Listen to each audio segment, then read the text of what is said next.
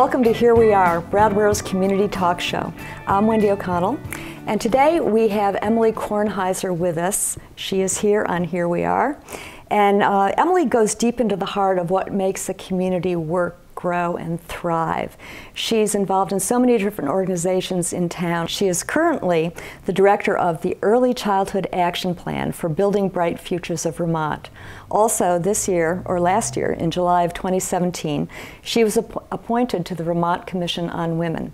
So, Emilie, welcome. Thank you. Thank you so much for being on. You were a suburban New York City girl? Yes, yep. I grew up in suburban New York. Mm -hmm. um, fourth generation suburban New Yorker, moved around from one suburb to another. Um, but yeah, grew up right outside of New York, spent a lot of time, you know, taking in the culture. But um, when I came to Vermont when I was 17, it was the first time I really felt community. Mm. And it stuck, that feeling really stuck. Mm. How, what got you to Vermont? Um, I, in high school, I struggled. I definitely struggled. Huh. Um, feeling very isolated, sort of at odds with the culture that I was a part of. Uh-huh. And I wanted to go to a really small, intimate college where I could really engage with ideas and faculty and mm-hmm. community. And I found Marlboro. That's and that was the place to be for all of those things. Well, it is, it is all those things. Mm-hmm. What kinds of things did you get engaged in when you were in, in early years, high school? Um, in high school, I really wanted to understand why I felt the way I did, um, which I think is very, you know, that's what adolescents do. They try to find their place in the world. Right. So um, I was drawn to a lot of different community activism. I was involved in Amnesty, Amnesty International, um, my school literary magazine, mm -hmm. and um, a gay and lesbian anti-violence project. Mm -hmm. And then when I came to Marlboro, I took my first sociology class, and all of a sudden I realized there was an entire academic field devoted to this way that my brain worked, this deep desire to understand how the different pieces of society fit together. Oh, that must have been a relief. It was. Yeah. Yeah. Yeah. yeah. And that kind of community could really support that kind of, this, I would think, the, the inquiry that you had. Yeah, there was an opportunity there to dive deeply into the academic side of things, mm -hmm. to mm-hmm. read deep history. Um, mm. Went down to UMass Amherst quite a few times mm -hmm. to mm-hmm. read primary documents from you know magazines right. from the turn of the century. Yeah. Understand um, the sociology of history, uh -huh. and then also an opportunity to do field research really deeply in the community here in Brattleboro. So I spent a lot of time at Brattleboro oh, High School oh. doing an ethnography of that school. Oh, that must that's fascinating. And, and you wrote something up on that? Yep, yep. I wrote an ethnography that was sort of connecting the history of public educational reform to the current day uh-huh. state of public education. That would be fun to read. maybe I wrote it 20 years ago, and I, you know, I don't know if it'd be fun for me to read, but maybe right. it'd be fun for you to right, read. Right, right, Or historically, you know, mm-hmm. it, it, could be it could be interesting. Was the culture of your family socially active? Did you have that as well? Um, no, really no. Mm. Uh, I grew up I think my family is very intellectually engaged, mm-hmm. sort of a traditional middle class Jewish family mm-hmm. in New York. Mm-hmm. Um, mm-hmm. Everyone read the New York Times, everyone voted Democrat. But in terms of really stepping out to be the kind of community activism that really connects you to your neighbors and connects right. you to a dream of a better world, mm-hmm. um, no, I really discovered that absolutely on my own. And I mm-hmm. think in some ways in direct opposition to my own experiences uh-huh. Uh-huh. of suburbia.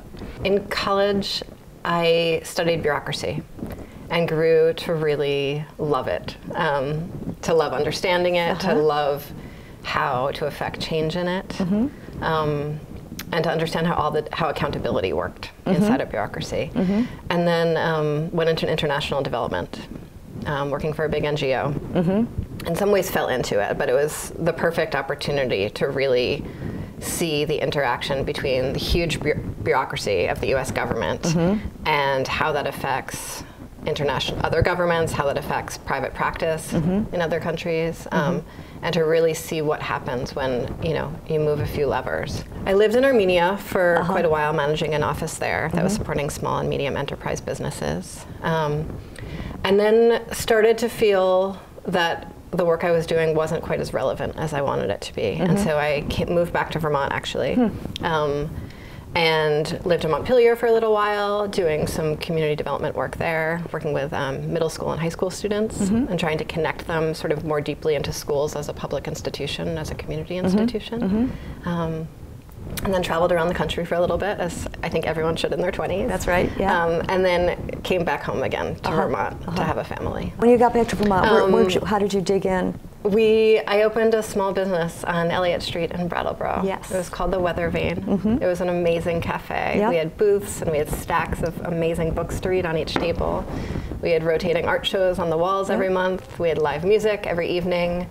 Um, it was a real community space for that year that we owned it. There was um, tea and coffee and scones during Yeah, the day and yeah. fabulous food and conversation and wine in the evening and um, I met a lot of really good friends during that time, and Mm-hmm. I keep on running into more people that formed sort of lasting relationships because of the space that we created there. Yeah, yeah, public space, right? Yep. Public space, space. where anyone was welcome, and I remember it well. That was 13 years ago. 13 years and ago. it's easy for me to mark the time because my son is now 13. Uh-huh. And we started it when I was pregnant. Uh-huh. Um, and then it was wonderful to do it when he was a babe in arms strapped on me and I was, you know, bartending and baking and cooking while he was, you know, um, while I could carry him. Yes. But as soon as he started crawling around, Right. it became really an impossible situation to do on my own. Yes, yeah, yeah. And so I was able to sell it, and um, it continued on as a bar, but with a very different sort of cultural Yes. scene there. Yes. My next venture was really to spend some time at home with my son. I was a single mom. Um, I was on welfare, and I reached out for a lot of help, and I had amazing friends. And I think that right after the level of really incredible communica- community connection that I had being in the hub of downtown and Right. running a small business, Yeah. transitioning to the social networks that I needed to be a successful Yeah. Mm-hmm. parent by myself was really I fell in love. Like I really fell in love with Brattleboro over and over again, Ah. um, and was able to thrive. You know, was had social connections to rely on. Mm-hmm. If I was sick, I had friends bring food. There was always something to do and someone to talk to. Mm-hmm. And then when my son was two, I went back to school. I went to grad school at UVM oh, you did. to study economics. Did you move up there? Yep, we moved to You Burlington for did. five years. Uh-huh. Yeah. Oh, wow. Yeah. So you got another form of community, another feeling for community. And that's one of the things I love about Brattleboro is that I've been here since I was 17. Hmm. It's been more than 20 years.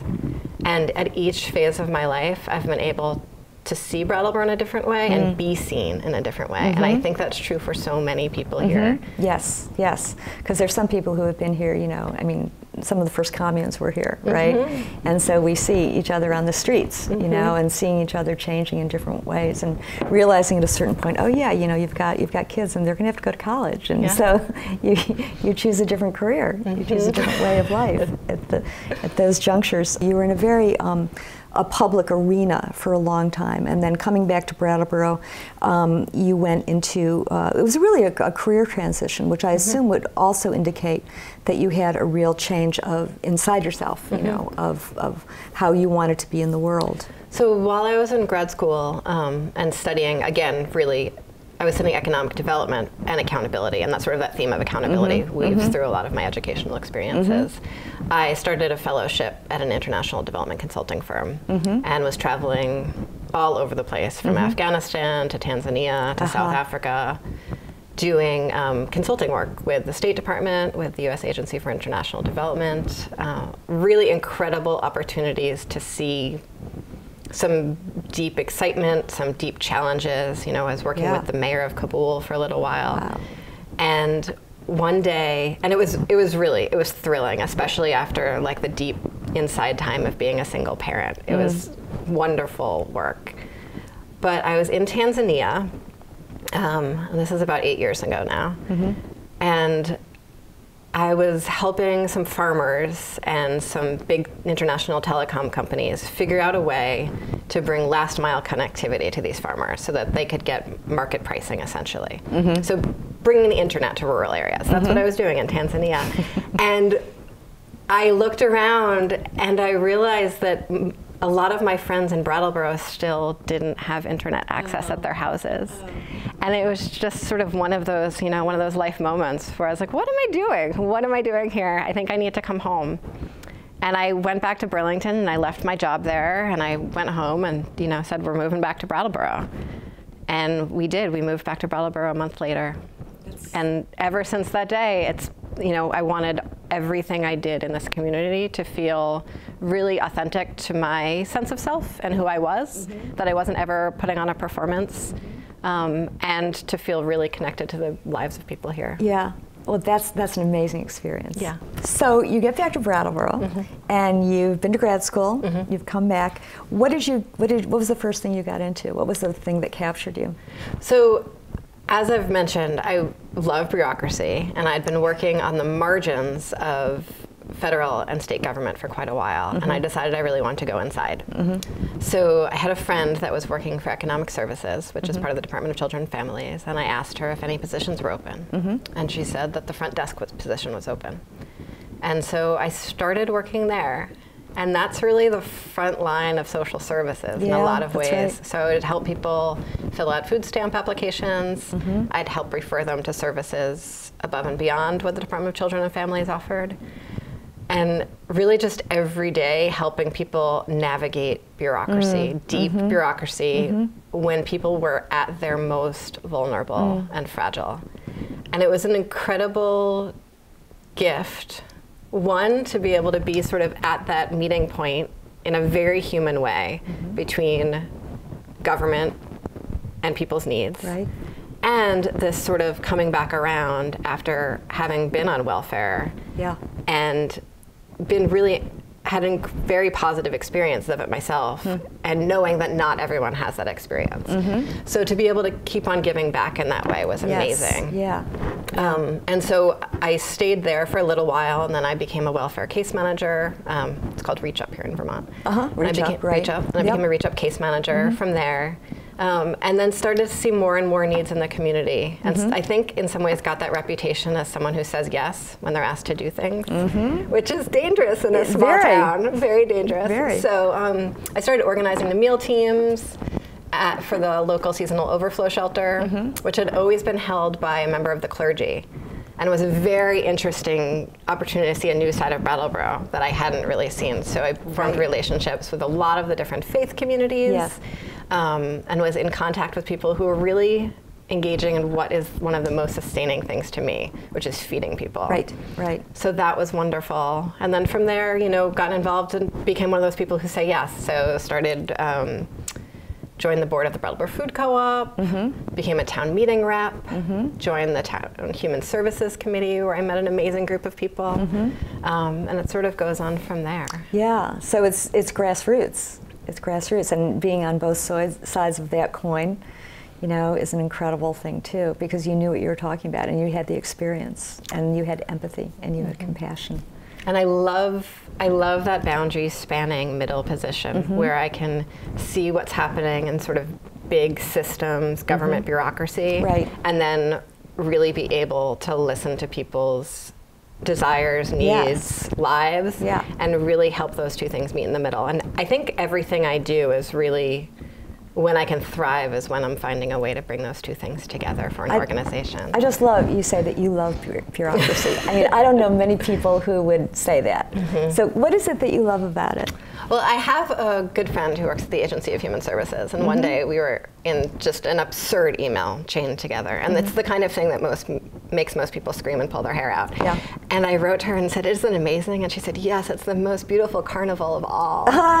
but I think what I love about it, um, in addition to just having a fairly good sense of humor about it, is um, the way that people navigate structure. Mm. I think that we all we all desire some structure in our mm-hmm. lives, whether mm-hmm. we know it or not. When we have that structure, and when that structure is explicit to us mm-hmm. instead of implicit. So I think in most of our lives and most of our workplaces, we don't really know the rules. And we're always looking for them mm-hmm. everywhere we go. Mm-hmm. And we're pushing and pushing. This is something, you know, this, toddlers do this all the time, right? Right. They're always right. pushing, pushing so they can find the edges. Yes. And we all do that as adults, even. Yeah. But in a bureaucracy, everyone knows where the edges are. Mm-hmm. And once you know where the edges are, then you can navigate things in a completely different way. Uh-huh. You can go under, you can go across, mm-hmm. you can go up and down. Mm-hmm. But people find these amazing ways of affecting change. Yeah once they know the structure. So people aren't putting all of this energy into trying to understand the structure the way we do in more looser, more implicit organizations. It's a great answer, and and and it's really uh, you're mining a kind of creativity that most of us don't even think about. You know, because we're either railing against bureaucracy or we're burdened and victimized by mm-hmm. it. So for you to be able to come up with creative solutions and or creative approaches, probably is a better way of saying it, right? Yeah, and yeah. I think those I'd really try to bring those creative approaches and. Um, an explicit understanding of systems mm-hmm. to everyone that I work with and talk to. Mm-hmm. Because I think if we can understand how the system works, we can feel empowered in it. I think that we might be in a time in our history where people can understand some of the value of bureaucracy. I joke about this a lot, but I really I think that you know, given what's happening with our federal government right now, mm-hmm. I think that bureaucracy might save us. It is designed to withstand political yeah waves. Mm-hmm. That's what it's for. That's mm-hmm. what the bureaucratic class is for, is to keep on being able to do their work, mm-hmm. move the paper around, yeah. serve people, no matter what's going on above and beyond them. Yeah. So I think that maybe the IRS will save us all. Not sure. you heard it here I'm first. Hoping, I'm hoping. I like that. You mm-hmm. heard it. Mm-hmm. You heard it here first on BCTV. Emilie Kornheiser.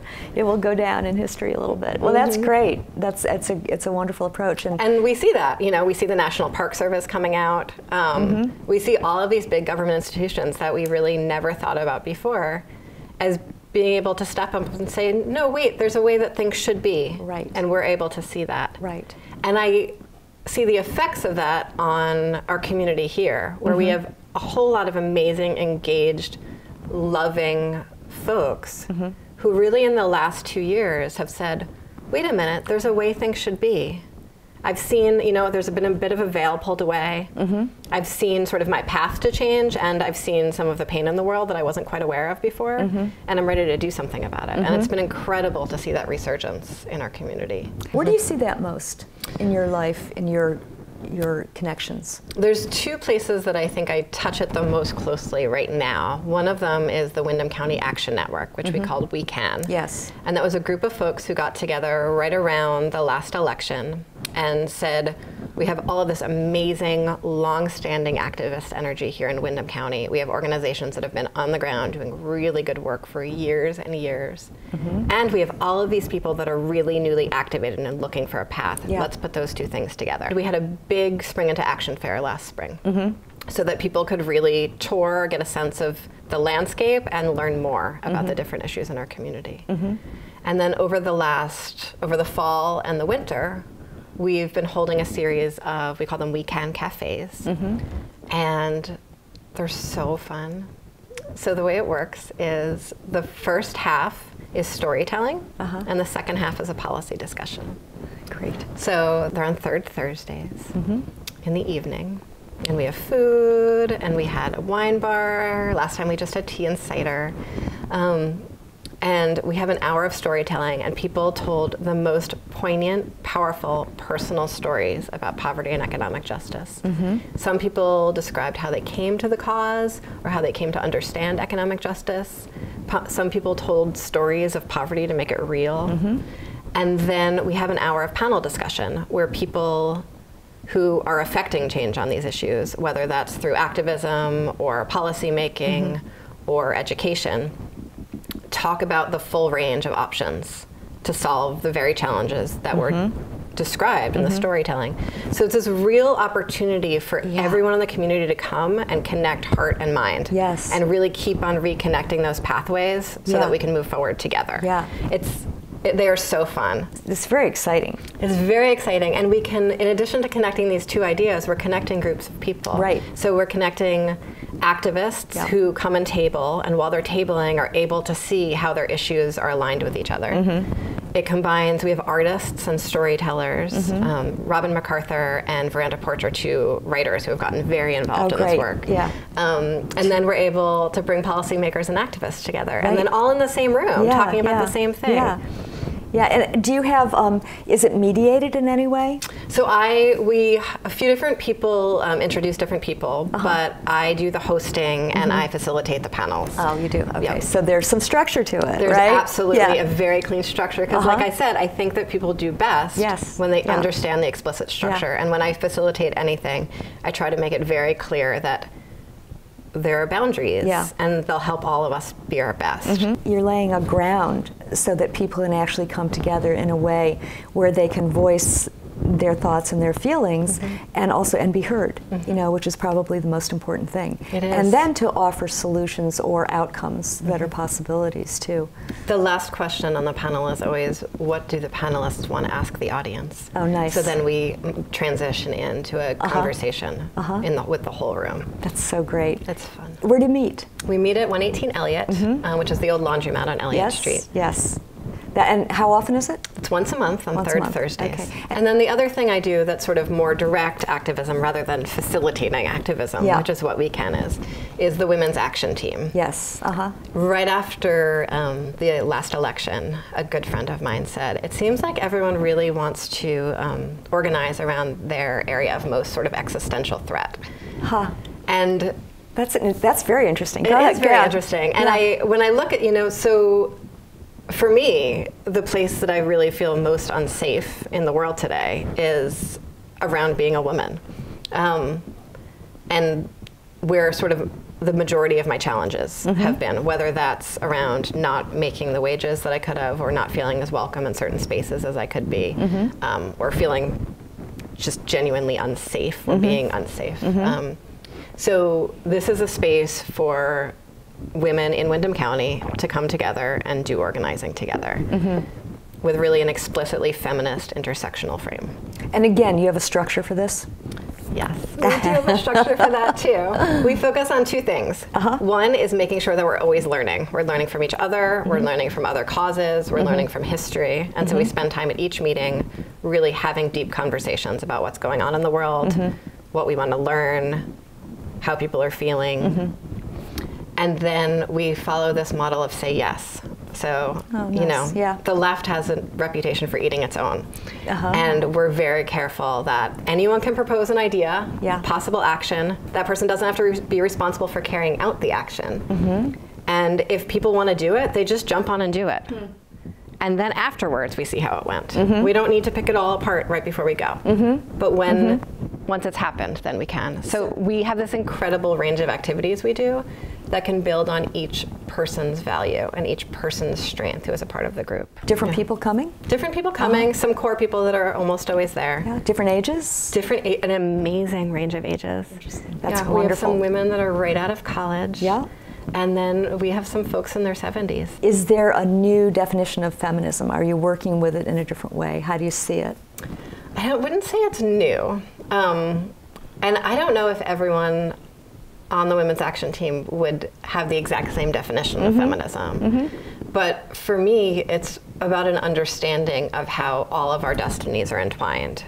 That any future that we're working for needs to take into consideration justice for everyone. Mm-hmm. So we're really understanding what it means to be a woman of color and making sure that anything we're advocating for will serve that population. Mm-hmm. That we understand that if anyone is falling behind, if anyone is down, then all of us are suffering for that. Mm-hmm. Um, so one of the big projects we've been taking on is an equal rights amendment in Vermont. Oh, And that sort of brings together all of the issues. Yeah. So it brings in art, it brings in community conversations, it brings in policy work, it Uh-huh. brings in connecting to all of the other organizations in our area Yeah. to really move forward all of our destinies together. that's very exciting. it's so fun. So in both of these organizations that I just mentioned, the leadership model is very inclusive Uh-huh. and um, about sharing leadership. Yes. So the Women's Action Team is a steering committee of five people.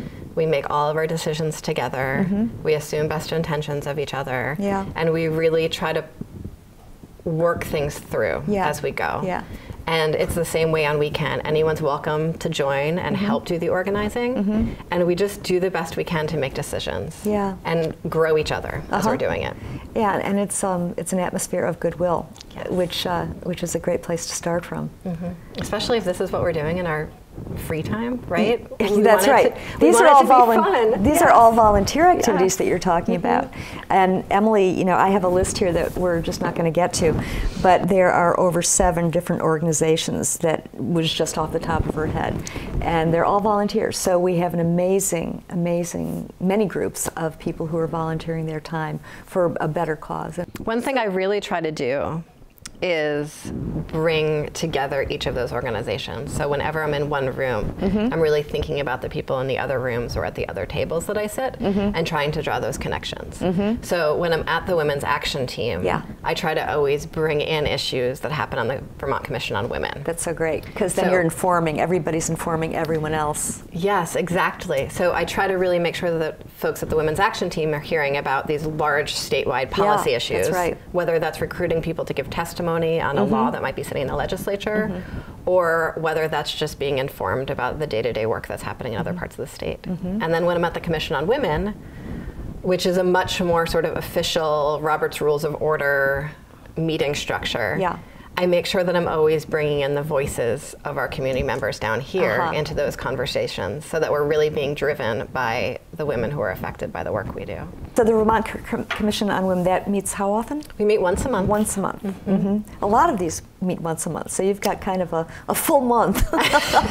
do. anyway, you look, and there are only 16 members. People are appointed either through the Speaker of the House or through the Governor.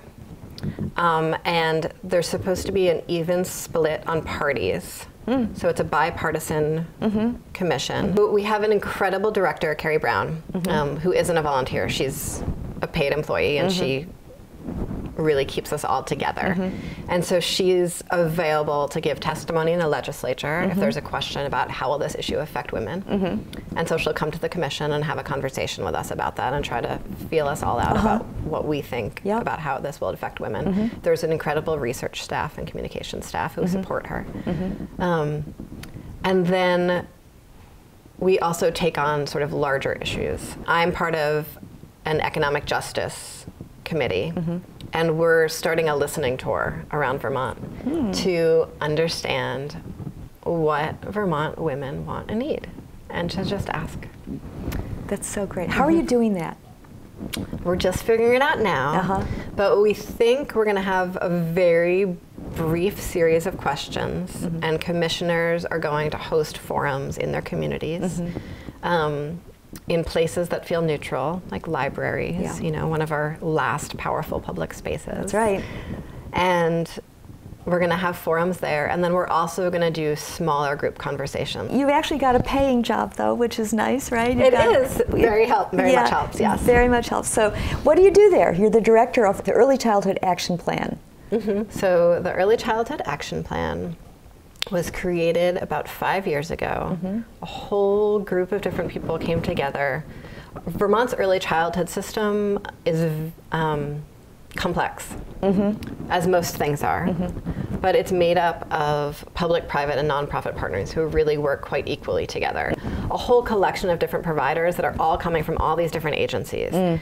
And so five years ago, all of those different people came together and said, what do we want the early care and education system? What do we want early childhood Yeah. to look like Yeah. for Vermont's children and families in 10 years, 20 years? Mm-hmm. And so they developed this plan, this very complex, very long plan. Mm-hmm. And so about six months ago, I was hired to direct the plan. So in a lot of ways, my work, my paid work is very similar to the work I do in communities. Right, It's making right. sure that groups are communicating with Yes, each other, uh-huh. that they understand the system that they're operating in, Yes. and that they're understanding what progress and vision looks like. Yeah. And all of that is for building bright futures of Vermont. Mm-hmm. I love the fact that all those organizations are talking to each other. That's a really exciting thing happening. And thank you so much. Thanks Mm-hmm. Thank for being so with us today. Absolutely. We really enjoyed it and we'll get the word out. Thank all of you for joining us today, and we will be back again next week, and we'll see you then with Here We Are.